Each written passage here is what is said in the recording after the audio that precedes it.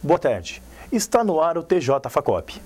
A Oficina Cultural de Presidente Prudente lança no próximo ano um documentário sobre o grande teatrólogo prudentino Timonchenko Web. Com uma vida marcada por conflitos, Timó foi vítima de preconceito por causa da sua homossexualidade e faz da arte uma ferramenta de crítica social. Confira na reportagem de Samuel Lucas e Heitor Ferreira. Após três meses de trabalho, foi concluído um documentário sobre a vida de Timochenko Web, dirigido por Paulo Brasil. O documentário é uma proposta que já nasce desde 2007, quando eu assumo a coordenação da regional aqui de Presidente Prudente, com o principal objetivo de ajudar a resgatar a vida e a obra do nosso patrono.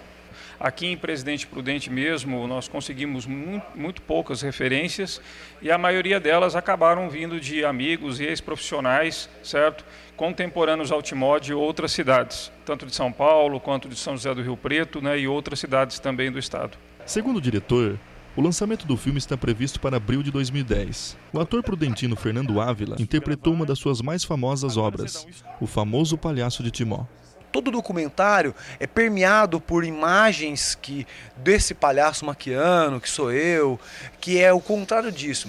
É os dramas, vamos dizer assim, que o ator, meu, os meus dramas de ator, de palhaço, enquanto me maquiando e pensando sobre a vida e refletindo, vamos dizer, por que, que eu estou fazendo isso. Um dos mais consagrados dramaturgos brasileiros é Prudentino, e pouca gente sabe disso. Chemochenko Web nasceu em 14 de março de 1943. Essa personalidade foi um marco para a cultura regional. A questão do documentário é sempre, é sempre importante. Né? É, a gente vive num, num país um pouco sem memória. Né?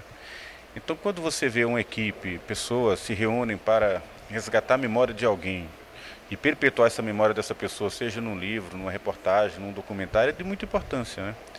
Porque se, se, se você perguntar para muita gente que faz teatro imprudente hoje, as pessoas não sabem quem foi o Timoshenko. Timochenko Web era especialista na arte de escrever peças teatrais, porém atuou como diretor apenas uma vez. Ele morreu em 1986, aos 43 anos, vítima de HIV. O TJ Facop fica por aqui. Boa tarde.